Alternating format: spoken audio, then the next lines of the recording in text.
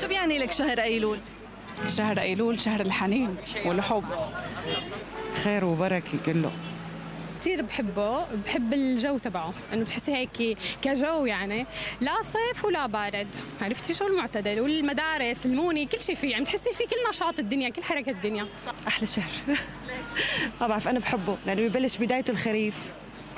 يعني هيك شيء بيعطيكي شيء هيك روح حلوة. والله يعني إنه شو بدنا نسوي مونة شو بدنا نعمل؟ مثلا مثل ست بيت بعمل مونة بعمل مثلا كل شيء بدخل المدارس بدي اشيل على المدارس. هيك شهر أيلول هو شهر البدايات. يعني بداية العام الدراسي بداية الشتاء هو شهر الخير. لا يخلو من الكآبة مع أوراق الخريف ومع هالنسمات الحلوة. هو شهر بحكي لك إنه هو شهر عيد ميلادي عيد ميلاد ابني عيد زواجي شهر المونة شهر المدارس إلى آخره.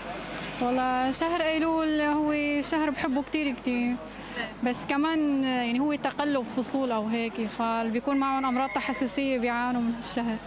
المدرسة الجامعة هيك. موني مدارس. مصاريف.